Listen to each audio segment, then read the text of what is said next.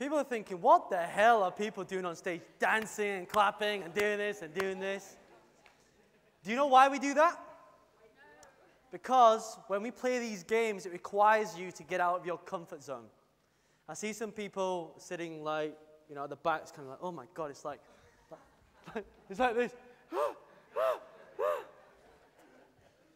you know what? Sometimes to do some big deals, do you have to be out of your comfort zone? Yes or no?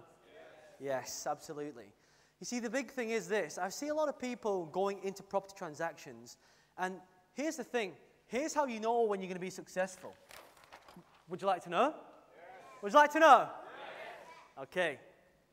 So, the, I can apply this to any, every single person's situation right now in this room.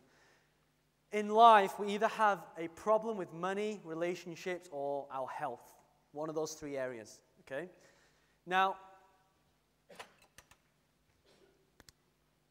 This might be your, this is what we call the comfort zone, okay? Now, the interesting thing is this we only go from here to here. And the problem is when we get to the edge, we get scared and then we come back. I mean, that's just the natural human instinct. Now, think about this for a second.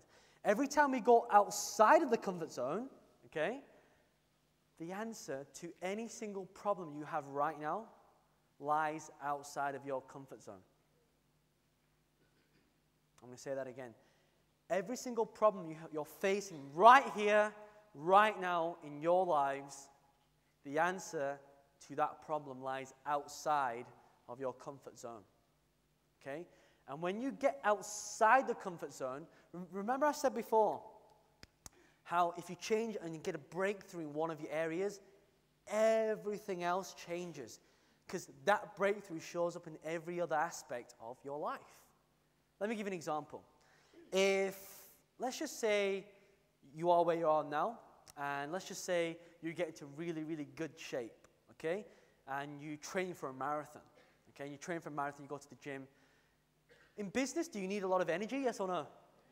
In business, do you think you're going to hit some roadblocks, yes or no? We've got to get our energy through it. Now, people say, John, you got so much energy. Do you always have so much energy? I don't just wake up in the morning and go, and start running. I don't do that. Sometimes I wake up and I really do not want to do the things I, I need to do. But sometimes we have to do what's necessary. We have to do what's what? Necessary. So the person next to you say, sometimes we have to do what's necessary.